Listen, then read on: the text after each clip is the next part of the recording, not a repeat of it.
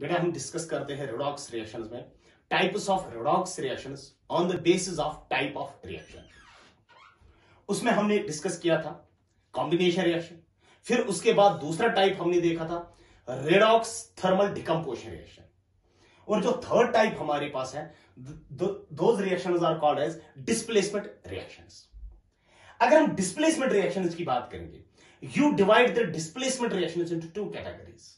Number first is metal displacement reaction. Metal displacement reaction.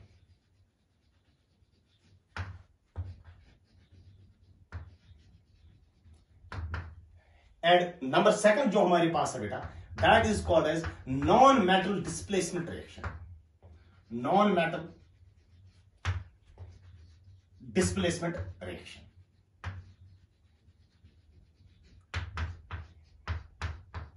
तो पहले हम देखेंगे मेटल डिस्प्लेसमेंट रिएक्शन फिर उसके बाद देखेंगे कौन से बेटा? Non metal displacement reaction first you write there metal displacement reaction metal displacement reaction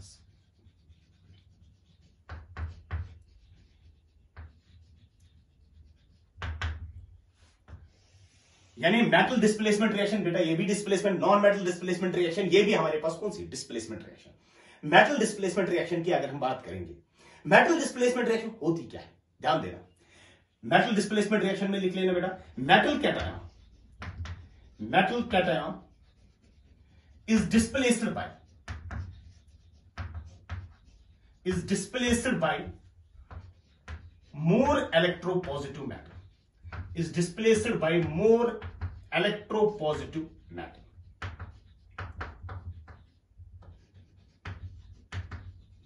यानी मेटल कैटायन को हम किससे डिस्प्लेस करते हैं? It is displaced by a more electropositive metal ध्यान देना बेटा यहाँ पर। अगर हम जिंक सॉलिड लेंगे, उसको हम बेटा डालेंगे C U C L two aqueous के सोल्यूशन में। तो वहाँ पर कौन सी रिएक्शन होती है? ध्यान देना बेटा Z N C L two aqueous is form plus copper salt ध्यान देना। अगर हम देखेंगे ना, यहाँ पर जिंक की ऑक्सीडेशन स्टेट क्या है? ज़ीरो यहाँ पर जिंक की ऑक्सीडेशन स्टेट क्या है? प्लस टू तो इसका मतलब हुआ कि जिंक की ऑक्सीडेशन हो गई।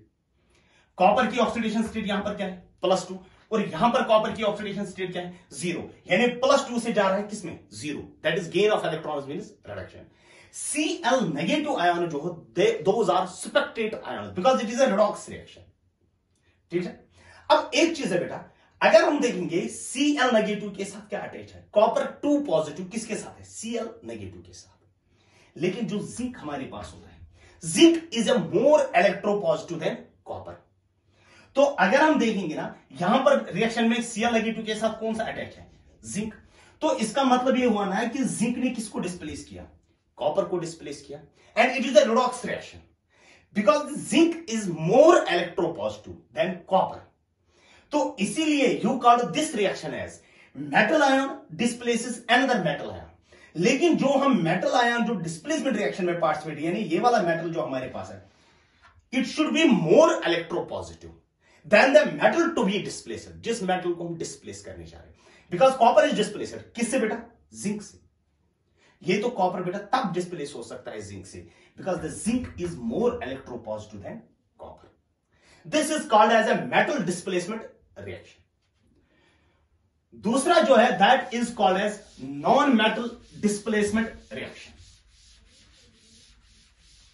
non metal displacement reaction non metal displacement reaction non metal displacement reaction ध्यान देना बेटा नॉन मेटल डिस्प्लेसमेंट रिएक्शन होती क्या है? ध्यान देना। Non metal displacement reaction simply एक इसमें सिंपली आप देखोगे नॉन मेटल डिस्प्लेस होता है। Non metal is displaced by a metal is displaced by a metal और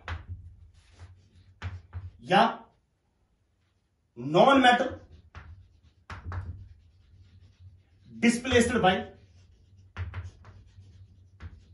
more electronegative non-metal by more electronegative non-metal by more electronegative non-metal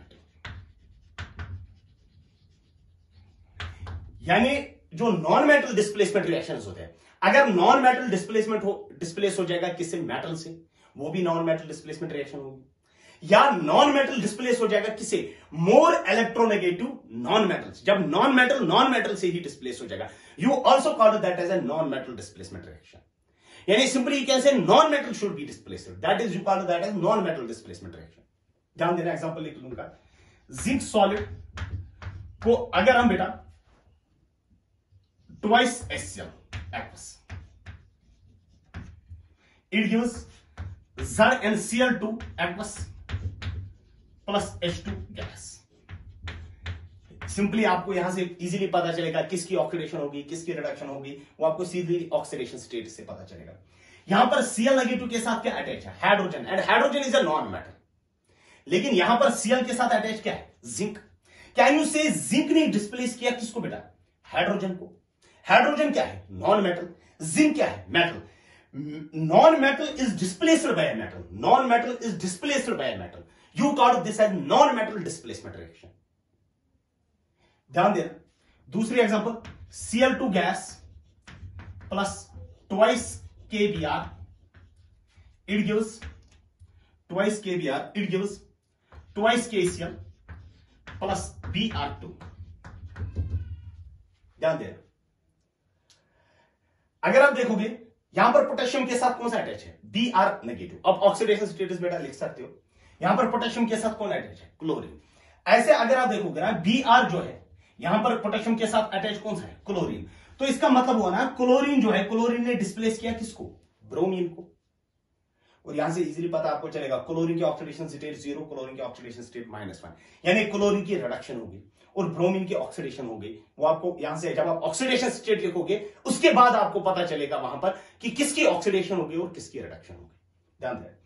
अगर आप देखोगे, सीधे आपको रिएक्शन से सीधे ही पता चलता है कि जो ब्रोमीन यहाँ पर था, कि ब्रोमीन को किसने डिस्प्लेस किया? क्लोरीन ने डिस्प्लेस किया।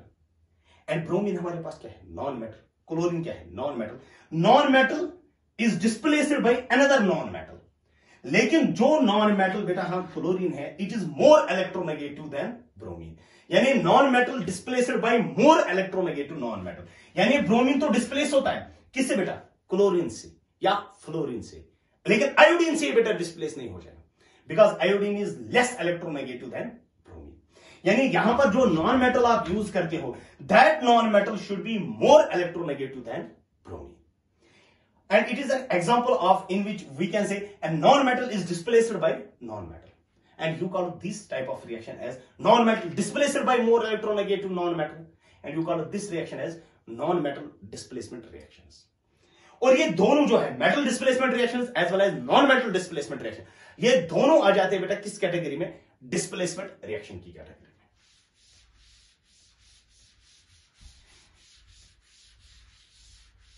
नेक्स्ट बेटा जो है that is disproportionation reaction number fourth is disproportionation reaction disproportionation reaction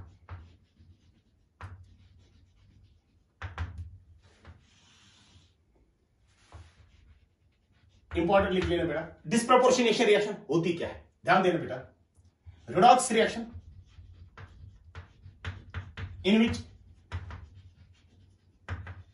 same oxidation state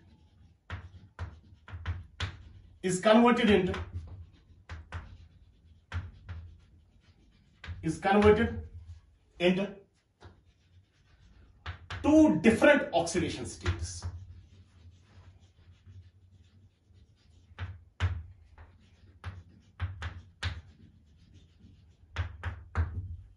redox reaction in which same oxidation state is converted into two different oxidation. एक ही oxidation state बेटा, दो oxidation states में convert होते you call that type of redox reaction as कौन सी बेटा? Disproportionation reaction ध्यान दे अगर मैं बोलूँगा एक्स जो हमारे पास है it gets converted into X n positive plus X n negative तो विदाउट बैलेंसिंग ऑफ़ एटम्स की बेटा रिक्वायरमेंट नहीं है। यहाँ पर एक्स की ऑक्सीडेशन स्टेट कितनी है? ज़ीरो यहाँ पर एन पॉजिटिव है। तो ज़ीरो से किसमें चला जाता है? एन पॉजिटिव में। यानी ज़ीरो से बेटा जा रहा है पॉजिटिव में। You can say it is simply oxidation और यहाँ पर ऑक्सीडेशन स्टेट क्या है? ज़ीरो ज़ीरो से किसमें चला जाता है? ज़ीरो से चला जाता है एन नेगेटिव में। You can simply say zero से माइनस में चला जाता है। तो gain of electron gain of electron means reduction तो अगर हम बेटा देख लेंगे एक्स की क्या हो रही है? आप बोलोगे एक्स की ऑक्सीडेशन हो रही and n positive is form and simultaneously you can see X की क्या हो रही है? रिडक्शन एक ही ऑक्सीडेशन स्टेट थी ना? कौन सी oxidation state zero that gets converted into n positive and n negative यानी एक ही एलिमेंट जो हमारे पास है, उसी एलिमेंट की ऑक्सीडेशन होती है, और उसी एलिमेंट की रिडक्शन भी होती है। You call that those type of reaction disproportionation reaction एक ऑक्सीडेशन थी ना कौन सी बेटा? Zero and this zero gets converted into n positive and n negative you call this type of reaction as disproportionation reaction ध्यान देना। अगर मैं यहाँ पर लिखूँगा H two O two gives H2O plus half of O2. It is the decomposition of hydrogen peroxide. तो जब आपके पास बेटा डिकम्पोजिशन ऑफ़ हाइड्रोजन पेरोक्साइड दिए है तो हाइड्रोजन पेरोक्साइड में ऑक्सीजन की ऑक्सीडेशन स्टेट माइनस वन यहाँ पर ऑक्सीजन की ऑक्सीडेशन स्टेट माइनस टू यहाँ पर ऑक्सीजन की ऑक्सीडेशन स्टेट ज़ीरो ध्यान देना। तो अगर आप एक चीज़ देख लोगे तो ऑक्सीजन अगर हम देखेंगे माइनस वन ऑक्सीडेशन स्टेट किसमें कन्वर्ट हुआ बेटा? माइनस टू में। You can simply say gain of electrons minus one से चला गया ना माइनस टू में। Gain of electrons means reduction तो आप बोलोगे, बेटा ऑक्सीजन की रिडक्शन होगी. लेकिन साइमल्टेनियसली आप ये भी बोल सकते हो ना oxygen minus it gets converted into oxygen zero minus से चला जाता है किसमें? ज़ीरो में. That is loss of electrons loss of electrons means oxidation तो बेटा, ये हमारे पास oxidation can you say oxygen जो हमारे पास है ऑक्सीजन की रिडक्शन भी होती है ऑक्सीजन की ऑक्सीडेशन भी होती है। एक ही oxidation state that is minus one gets converted into two different oxidation state minus two and zero you call this as disproportionation reaction यानी decomposition of hydrogen peroxide is a disproportionation reaction इसी तरीके से if you will write it a C L two plus O H negative gives C L O three negative plus C L negative अगर आप chlorine की oxidation state यहाँ पर देख लोगे यहाँ पर क्लोरीन की ऑक्सीडेशन स्टेट क्या है बेटा? ज़ीरो ऑक्सीजन की माइनस टू यहाँ पर भी ऑक्सीजन वो लिखने की ज़रूरत नहीं है। क्लोरीन की ऑक्सीडेशन स्टेट है प्लस फाइव क्लोरीन की ऑक्सीडेशन स्टेट है माइनस फाइव जरा मुझे एक चीज़ बताओ। क्लोरीन ज़ीरो से किसमें चला गया? प्लस फाइव में। जब ज़ीरो से चला जाएगा प्लस फाइव में that is loss of electron loss of electron mean oxidation you can say zero से चला गया किसमें माइनस वन में। जब ज़ीरो से माइनस वन में चला जाएगा यू कैन सी कि वहाँ पर क्या हो रही है बेटा? रिडक्शन अब अगर आपको बोलेंगे, क्लोरीन क्लोरीन की क्या हो रही है? यू कैन से क्लोरीन की ऑक्सीडेशन भी होती है और क्लोरीन की रिडक्शन भी होती है. And you call this reaction as disproportionation reaction और क्लोरीन का ऑक्सीडेशन यहाँ पर क्या है? ज़ीरो ज़ीरो से प्लस फाइव और ज़ीरो से माइनस वन यानी एक ही ऑक्सीडेशन स्टेट दो ऑक्सीडेशन स्टेट्स में कन्वर्ट होती है। ज़ीरो किसमें कन्वर्ट होता है? Plus five and minus one and you call these type of reaction as disproportionation reaction next बेटा हमारे पास जो है that is number fifth reaction that is comproportionation reaction comproportionation reaction comproportionation reaction क्या होते हैं? Two different oxidation states two different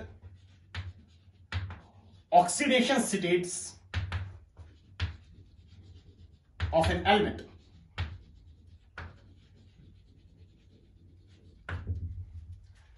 are converted into same oxidation state are converted into same oxidation state यानी दो different oxidation state बेटा एक ही oxidation state में convert होती है। टू डिफरेंट यानी रिवर्स बेटा जो डिस्प्रपोर्शन डिस्प्रपोर्शनेशन रिएक्शन में क्या होता है? एक ही ऑक्सीडेशन स्टेट दो डिफरेंट ऑक्सीडेशन और यहाँ पर क्या होता है? दो डिफरेंट ऑक्सीडेशन स्टेट्स एक ही ऑक्सीडेशन स्टेट में कन्वर्ट होती है। एग्ज़ाम्पल अगर मैं लिखूँगा H2S plus SO2 gives sulphur plus water balancing of atoms की बेटा रिक्वायरमेंट नहीं है, वो हम बैलेंसिंग ऑफ़ ऑक्सीडेशन में समझाएँगे।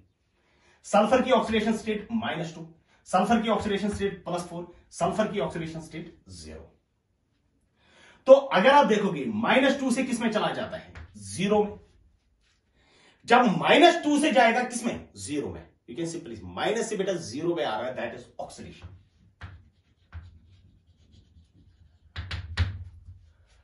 और आप बोलोगे कि सर, यहाँ पर एक ही सल्फ़र है। सल्फ़र के बेटा, अगर आप बैलेंस कर दोगे you can write it as two times this two times water फिर यहाँ पर थ्री टाइम्स सल्फ़र लिख सकते हो। यहाँ पर सल्फ़र की ऑक्सीडेशन स्टेट क्या है? प्लस फोर किसमें चला जाता है? ज़ीरो में। प्लस फोर से जा रहा है मैं ज़ीरो में दैट इज़ रिडक्शन यानी अगर आप देखोगे, इस रिएक्शन में अगर आपको बेटा बैलेंसिंग ऑफ़ एटम्स भी करने होंगे ना you can write it as two फिर यहाँ पर भी बेटा टू टाइम्स वाटर फिर थ्री टाइम्स सल्फ़र सिंपल तो अगर आप देखोगे माइनस टू किसमें कन्वर्ट हुआ? ज़ीरो में।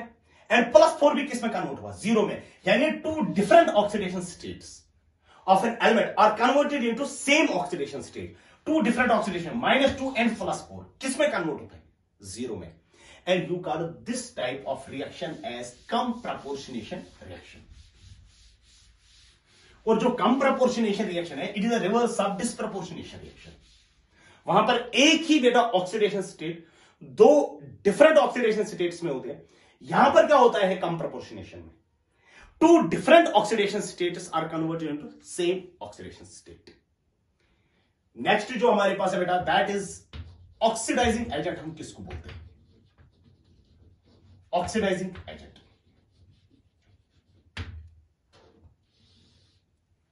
ऑक्सीडाइजिंग एजेंट ध्यान देना। Number first point oxidising agent किसको हम बोलते हैं? Species which can oxidise other species which can oxidise other species जो दूसरे स्पीशीज को ऑक्सीडाइज करेगा, जो दूसरे को ऑक्सीडाइज करेगा, उसको हम बोलते हैं oxidising agent species which can be use to oxidise other species जो दूसरे स्पीशीज को ऑक्सीडाइज करेगा you call that as oxidising agent number second point अगर ये हमारे पास ए और ये हमारे पास बी है। अगर फॉर टू मिनट हम मान के चलेंगे बी हमारे पास ऑक्सीडाइजिंग एजेंट है। फिर ये ए को क्या करेगा? B is an oxidising agent ये एजेंट हमारे पास है बेटा। यानी बी क्या करेगा? बी दूसरे को ऑक्सीडाइज करेगा। ये इसको बोलेगा, आप ऑक्सीडाइज हो जाओ। ऑक्सीडाइज होने का मतलब है कि ए क्या करेगा? लॉस ऑफ़ इलेक्ट्रॉन फिर बी को क्या करना है? गेन ऑफ़ इलेक्ट्रॉन्स यानी जो ऑक्सीडाइजिंग एजेंट होता है itself it gains electrons it gains electrons क्योंकि जब बी हमने माना कि बी हमारे पास ऑक्सीडाइजिंग एजेंट है तो बी ए को बोलेगा आपको ऑक्सीडाइज होना है। फिर ए क्या करेगा? Loss of electron B definitely करेगा वो गेन ऑफ़ इलेक्ट्रॉन्स जब बी करेगा गेन ऑफ़ इलेक्ट्रॉन्स यानी बी की क्या हो, हो जाएगी reduction number third point reduces itself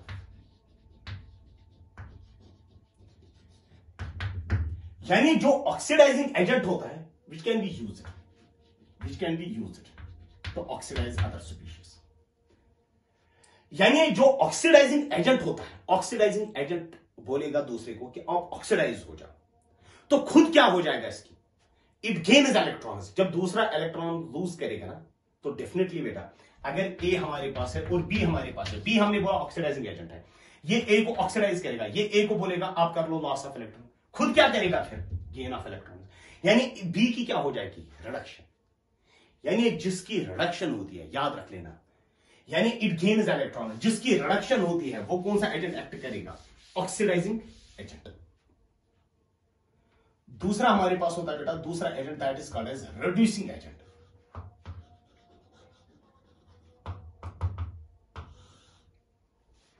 species which can be used to reduce other species. Species which can be used to reduce other species.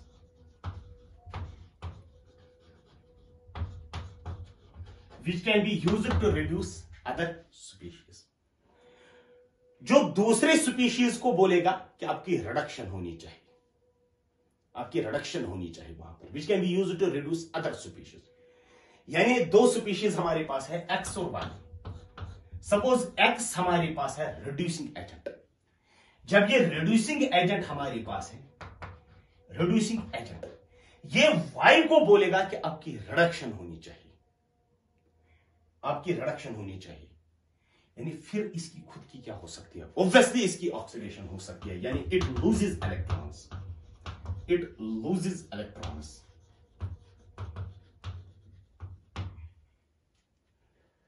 it loses electrons.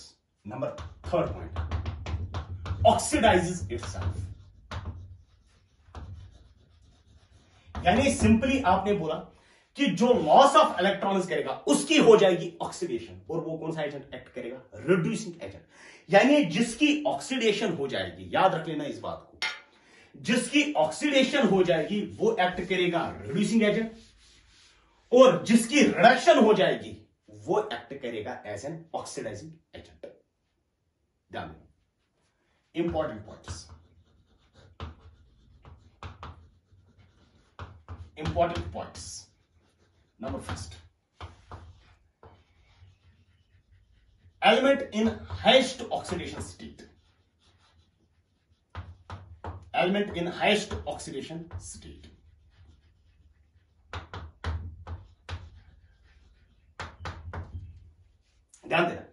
एक चीज़ हमने बोला कि जिसकी ऑक्सीडेशन हो जाएगी ना oxidation loss of electron means oxidation वो कौन सा agent reducing agent gain of electron means reduction वो कौन सा agent oxidising agent oxidising agent और रिड्यूसिंग एजेंट के अगेंस्ट जो पॉइंट है बेटा इनको क्लियर कर लेना। ध्यान देना element in highest oxidation state कोई एलिमेंट हमारे पास है it is present in highest oxidation state जैसे बेटा, अगर मैं एग्जांपल दे देता हूँ नाइट्रोजन की कहाँ से कहाँ तक ऑक्सीडेशन स्टेट वेरी करते हैं? Minus three two plus five highest क्या है नाइट्रोजन की? प्लस फाइव सल्फ़र की ऑक्सीडेशन स्टेट कहाँ कहाँ से कहाँ तक वेरी करता है? Minus two two plus six sulphur की हाइस्ट ऑक्सीडेशन स्टेट क्या है? प्लस सिक्स तो अगर हमारे पास sulphur present in plus six oxidation state it is it is highest oxidation state nitrogen की हाइस्ट ऑक्सीडेशन स्टेट क्या है? प्लस फाइव अगर मैं एक चीज़ बोलूँगा बेटा, जरा मुझे बताओ, अगर सल्फ़र करेगा लॉस ऑफ़ इलेक्ट्रॉन सल्फ़र की कौन सी ऑक्सीडेशन स्टेट है? प्लस सिक्स कोई कंपाउंड है जिसमें सल्फ़र की प्लस सिक्स ऑक्सीडेशन स्टेट है। सल्फ़र कर सकता है लॉस ऑफ़ इलेक्ट्रॉन नहीं। क्यों? क्योंकि अगर ये लॉस ऑफ़ इलेक्ट्रॉन करेगा, इसकी ऑक्सीडेशन स्टेट कितनी बनेगी? प्लस सिक्स से लेकर प्लस सेवन तक। दैट इज़ नॉट पॉसिबल तो इसके लिए एक चॉइस है। कौन सी choice gain of electron mean इसकी रिडक्शन पॉसिबल है। नाइट्रोजन की plus five oxidation state highest possible oxidation state तो नाइट्रोजन बेटा लॉस ऑफ़ इलेक्ट्रॉन नहीं कर सकता है, क्योंकि अगर ये लॉस ऑफ़ इलेक्ट्रॉन करेगा, इसकी प्लस सिक्स बन जाएगी दैट इज़ नॉट पॉसिबल तो सल्फ़र भी नाइट्रोजन भी क्या करेगा? Gain of electron that mean reduction यानी जब भी एलिमेंट होगा, किस ऑक्सीडेशन स्टेट में?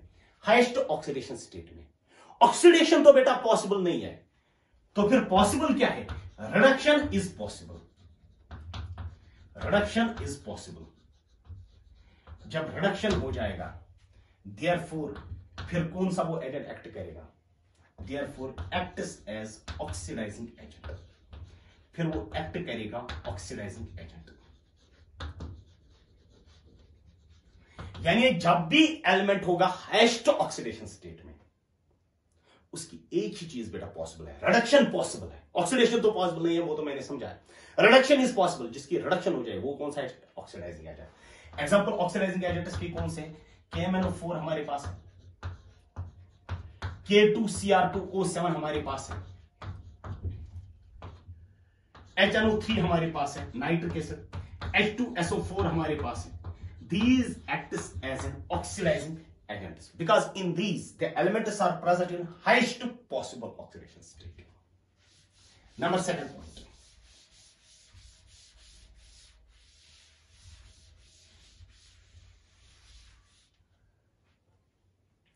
Number second, element in lowest oxidation state. Element in lowest oxidation state. अगर एलिमेंट बेटा किस ऑक्सीडेशन स्टेट में होगा? If the element is present in lowest oxidation state जैसे बेटा नाइट्रोजन की लोवेस्ट ऑक्सीडेशन स्टेट क्या है? Minus three suppose nitrogen minus three में प्रेजेंट है। सल्फ़र की लोवेस्ट ऑक्सीडेशन स्टेट क्या है? सल्फ़र माइनस टू जरा मुझे बताओ। अगर नाइट्रोजन प्रेजेंट है माइनस थ्री ऑक्सीडेशन में लोवेस्ट पॉसिबल ऑक्सीडेशन स्टेट में, क्या यहाँ पर बेटा हो सकता है gain of electron that is reduction क्योंकि इसका बन जाएगा ना फिर nitrogen minus four that is not possible sulphur की लोवेस्ट ऑक्सीडेशन स्टेट क्या है? Minus two it can not gain electron क्योंकि अगर ये इलेक्ट्रॉन गेन करेगा, तब इसकी ऑक्सीडेशन स्टेट क्या बन जाएगी? माइनस टू से लेकर minus three that is not possible यानी जब भी एलिमेंट होगा लोवेस्ट ऑक्सीडेशन में, फिर नाइट्रोजन क्या कर सकता है? लॉस ऑफ़ इलेक्ट्रॉन्स गेन तो नहीं कर सकता है सल्फ़र क्या कर सकता है? लॉस ऑफ़ इलेक्ट्रॉन्स यानी oxidation is possible oxidation is possible जब ऑक्सीडेशन हमारे पास पॉसिबल है देयर फिर बता बता कौन सा एजेंट एक्ट करेगा? एक्ट एज रिड्यूसिंग एजेंट फिर ये एक्ट करेगा कौन सा एजेंट रिड्यूसिंग एग्ज़ाम्पल हमारे पास रिड्यूसिंग एजेंट इसके कौन से एन एच थ्री जहाँ पर नाइट्रोजन प्रेजेंट है लोएस्ट पॉसिबल ऑक्सीडेशन स्टेट में। इसी तरीके से हमारे पास H two S sulphur is present in lowest possible oxidation state इसी तरीके से हमारे पास P H three phosphine phosphorus is present in lowest possible oxidation state F E C L two हमारे पास है iron is present in plus two oxidation state these act as which agents reducing agents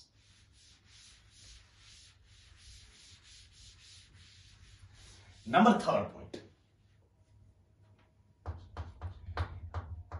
तो ये हुआ highest oxidation state and lowest oxidation state अगर element present है intermediate oxidation state में. Element present in intermediate oxidation state intermediate oxidation state अगर element intermediate oxygen centre पे present है तो ऑक्सीडेशन भी पॉसिबल है रिडक्शन भी पॉसिबल है.